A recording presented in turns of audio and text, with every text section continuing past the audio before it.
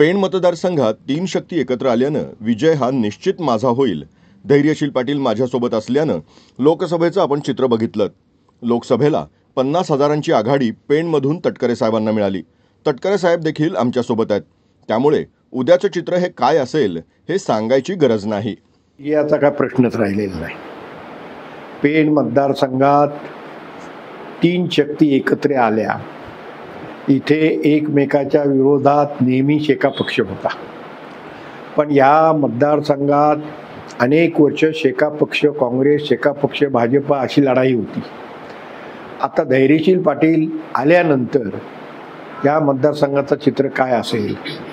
लोकसभेला तुम्ही चित्र बघितलं लोकसभेला या ठिकाणी पन्नास हजाराची आघाडी तटकरे साहेबांना मिळाली.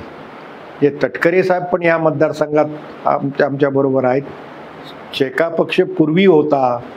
त्याच्यात नव्वद टक्के शेका पक्ष आज आमच्याबरोबर आहे. शिंदे गट आमच्याबरोबर आहे. तटकरे साहेब आमच्याबरोबर आहेत.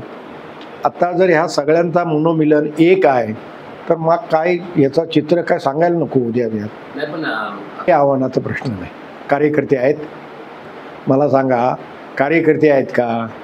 काही त्यांचं आव्हान नाही. आणि आव्हान असून त्यांनी काय शिवसेनेत काम केलं आहे शिवसेना तरी माहिती आहे त्यांना. आता अचानक टपकल्यानंतर शिवसेनेचा तो पूर्वीचा हा राहिला नाही. शिवसेनेत दोन भाग झाले.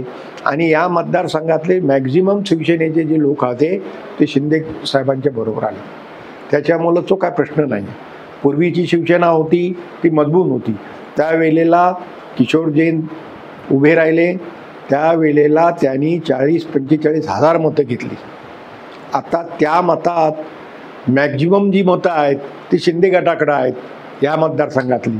आणि तुरळक जी राहिलेली आहेत ती आता उबाटाकडे राहील.